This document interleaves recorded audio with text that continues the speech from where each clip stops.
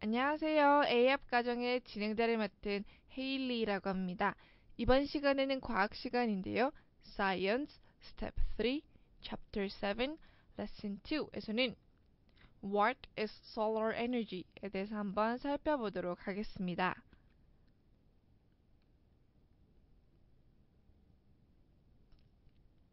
The sun is the Earth's main source of energy. 태양은 지구의 주요 에너지원입니다. It is a giant ball of gas that makes solar energy. 이것은 태양 에너지를 만드는 거대한 가스 덩어리를 의미하는데요. The light from the sun reaches the earth and heats up things around us. 태양으로부터의 빛은 지구에 도달하며 우리 주변에 있는 것들을 데운다고 합니다. Plants use solar energy to grow.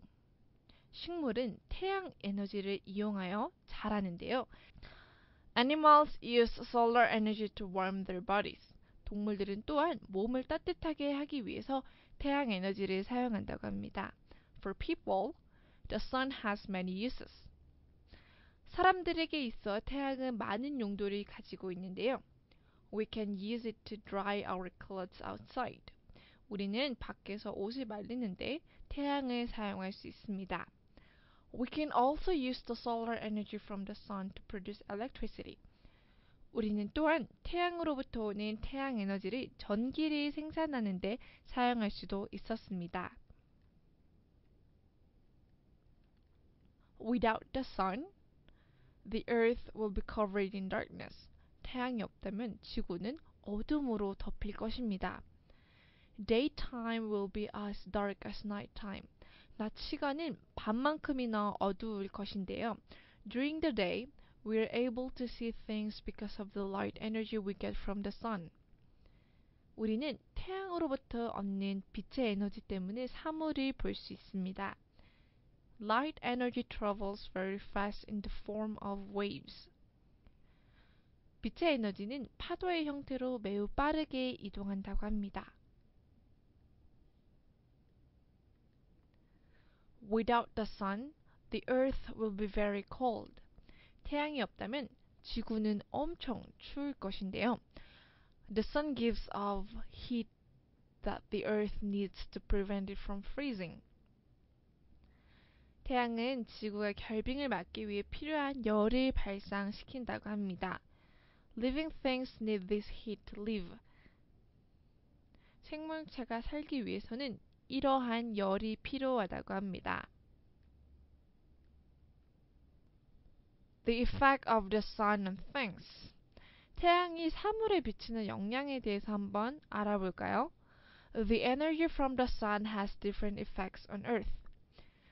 태양 에너지는 지구에 다른 영향을 미친다고 합니다.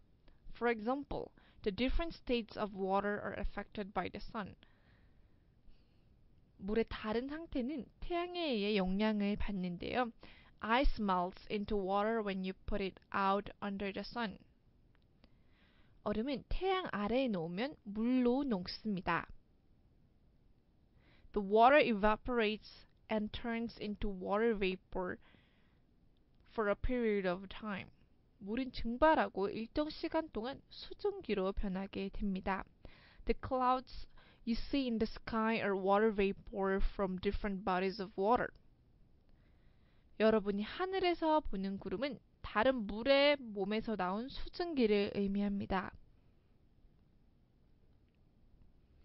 When the clouds get big and heavy, water falls back to earth as rain or snow. 구름이 커지고 무겁게 되면 물은 비 또는 눈으로 지구로 다시 떨어지게 되는데요. This process is called the water cycle. 이 과정을 물의 순환이라고 합니다. The sun can also cause air to move. 태양은 또한 공기를 움직일 수 있게 할 수 있는데요. As the sun warms the atmosphere or the air around the earth, the warmer air becomes lighter and rises up to the atmosphere and the cooler air is pushed down. 태양이 지구 주변의 공기를 데울 때 더 따뜻한 공기는 가벼워지고 대기로 올라가며 더 차가운 공기는 내려간다고 합니다. This rotation of warm and cool air produces the wind. 이 따뜻하고 차가운 공기의 회전은 바람을 만들어낸다고 합니다. 이해하셨나요? 이해하셨다면 Science Lesson 2를 마치겠고 다음 시간에 봬요.